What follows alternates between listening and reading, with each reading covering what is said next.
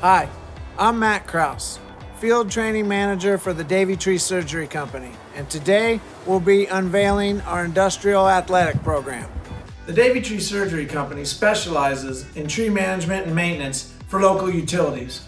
Performing this type of work safely requires strength, coordination, focus, and dexterity. While the prevention of SIFs, serious injuries and fatalities, is a major component of any safety program, most incidents can be considered soft tissue injuries such as strains and sprains. We wanted to reduce the number of these injuries on the job. To meet this goal, we launched an industrial athlete program in partnership with WorkCare. It works like this. Our certified athletic trainer visits regularly with tree crews to help them boost safe work performance on and off site.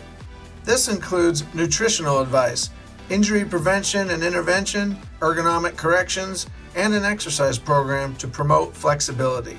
Our program also utilizes biometric suits to gather intelligence on what muscle groups are being used while working.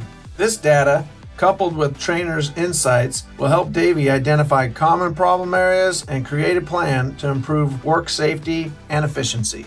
Feedback from the crews has been positive.